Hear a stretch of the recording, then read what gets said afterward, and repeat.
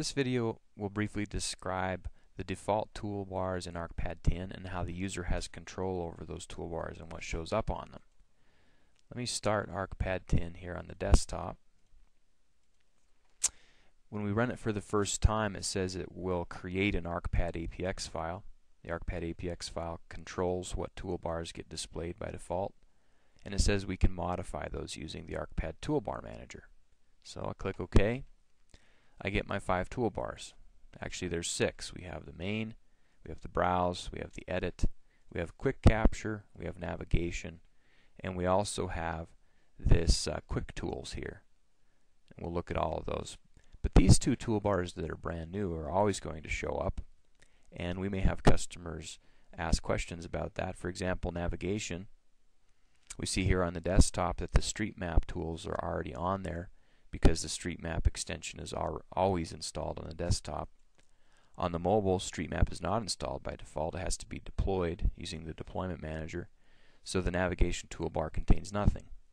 Well, what if they just want to hide the navigation toolbar, get rid of it, because they're not going to use Street Map, they don't have ArcLogistics, and they're not going to buy it? Well, that's fairly easy for us to do. Let's see how to get rid of the navigation toolbar. Okay, we'll close ArcPad and we'll open up the ArcPad toolbar manager and edit the ArcPad APX. So if I want to get rid of the navigation toolbar, I'll click on it and drag it away. Yes, I want to get rid of it. Save that. Quit. Now when I run ArcPad again, I'm going to pin this to my start menu so it's easier to start. Okay, ArcPad 10. Okay, now we notice that our quick capture toolbar is still there. And look, our, our navigation toolbar is still there. Well, what does that mean? Well, in fact, this is the street map toolbar. And so we'd have to actually remove the street map uh, toolbar as well. But let's look at this on the, the mobile. If we copy that ArcPad APX file, copy it over to the mobile device under My Documents, My ArcPad,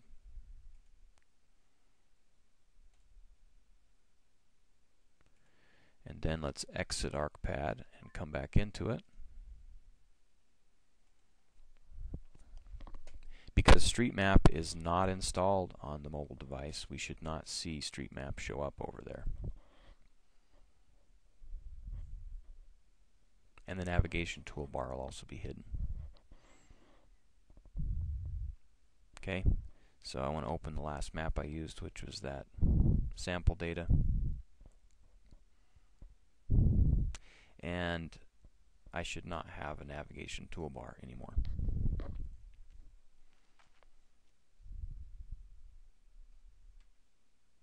Okay, so there's my Riverside data opening up. And as we can see, we don't have a navigation toolbar, so we've been successful in in hiding that. Okay, let me exit out of ArcPad. Now, how do I get that back? Oh, over here in on the desktop, my documents, my ArcPad.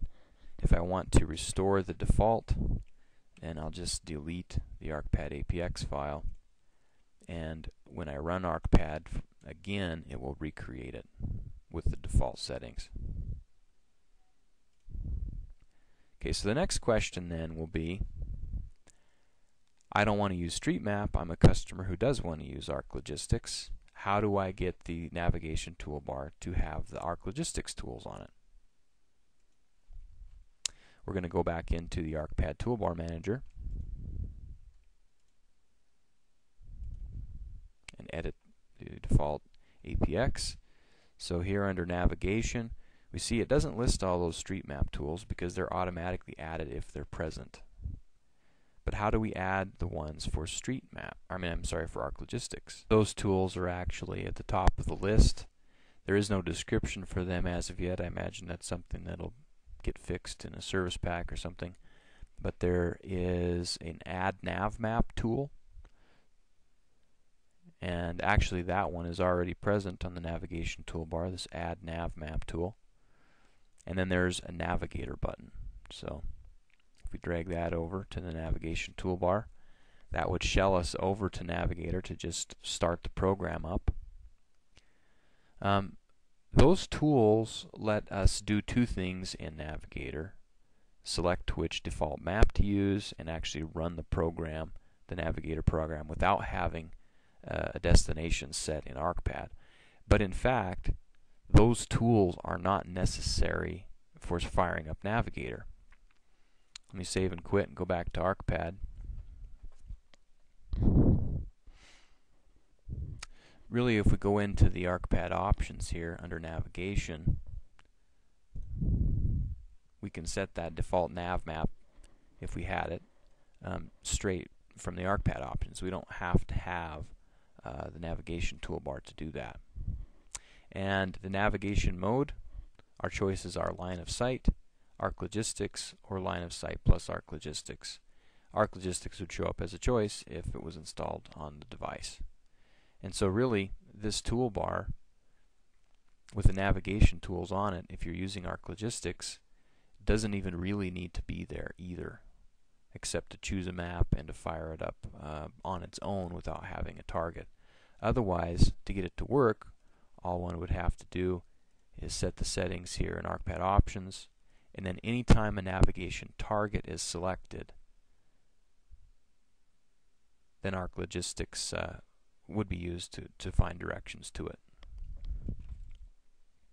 Now, further on this idea of toolbars and hiding them or displaying them, let's say that someone wants to get rid of, I'm sorry, I want to use the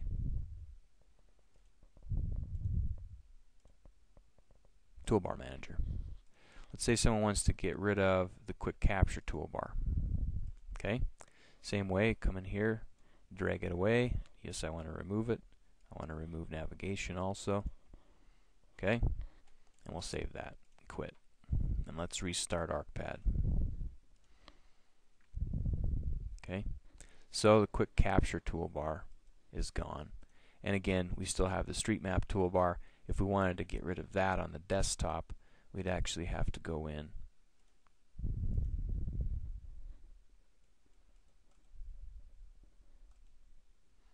and get rid of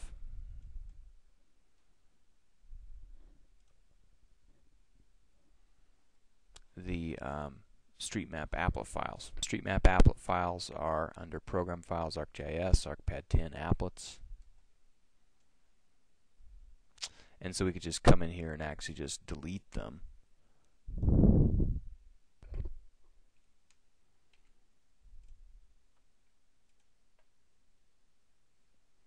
and the next time we run ArcPad, that toolbar is gone also. Of course, on the on the mobile, StreetMap isn't there unless you deploy it. So that's just a brief down and dirty uh, explanation of the new toolbars in ArcPad 10. Um, one additional thing that I want to mention in this video has to do with that quick action toolbar. The quick action toolbar is the one that shows up when ArcPad is running with the big ArcPad icon. So let me open up ArcPad and I'll show you this. That toolbar is also configurable and so people can basically set up sort of a hot list of tools that they use all the time on the quick action toolbar. Now, so we'll just do a new map. So this is the quick action toolbar.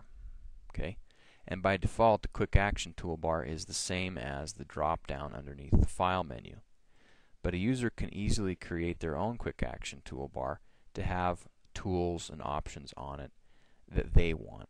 Let me show you an example of that. This is a quick action toolbar that I put together just as an example. It's got some simple uh, tools on it. Fixed zoom in fixed zoom out zoom full extent. Uh, it's got a label tool, so I can just click on things and label them. I can toggle on or off the map navigator, which is this one. I can toggle on or off the scale bar, toggle on or off a north arrow. I don't see that toggling on or off. That's interesting. Oh, it's up there. Okay. and panning frame. I can toggle that on or off, or I can exit ArcPad. So tools that you use a lot could be stuck right there on the uh, on the quick action. Now, one other thing that's new in ArcPad 10 has to do with this map navigator. Now, this is a, a sort of a love-hate thing. Some people like this map navigator, some people don't like it. If I click on a tool or button, it will do something. These tools are intended to be a use once sort of thing. So I click on pan, I pan. Now it made a liar out of me. It's not set to use once. Zoom in. Okay, so that did work. Zoom out. These are intended to be used once. So if I click on zoom in, it highlights it, activates it. Once I zoom in, it goes back to whatever it was doing before. Okay? That's the way the pan is supposed to work too, but I've already changed that so that it's not a use once tool. I can continue to use it. It works just the way it would work if I activated it um, over on the toolbar, the browse toolbar. Those settings for whether or not the tools are used once um, are now configurable. Additionally, the tools that are placed on this uh, map navigator are configurable as well. They're not yet configurable in the toolbar manager. They are configurable, however, in the ArcPad preferences file. if I open this up in Notepad, uh, there, there now is a quick action item in here. Take that back, it's in the ArcPad APX the quick action toolbar is defined now in the APX. It's just not editable in the toolbar editor yet. Um, but I can come in here and I can make uh, these tools use once true or use once false.